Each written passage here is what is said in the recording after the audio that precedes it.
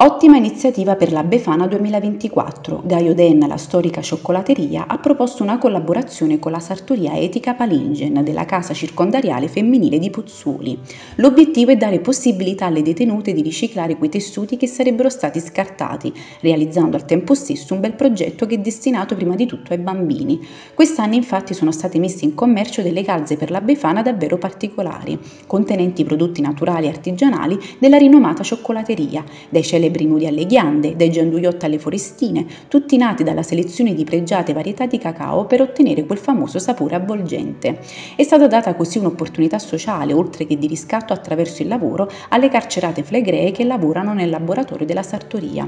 L'idea è nuova ma soprattutto innovativa. Marisa Del Vecchio ha affermato quest'anno le calze hanno un sapore speciale di rinascita ed emancipazione femminile. Con Palingen sosteniamo inclusione sociale e sostenibilità ambientale, mantenendo al centro, come sempre, il concetto di qualità.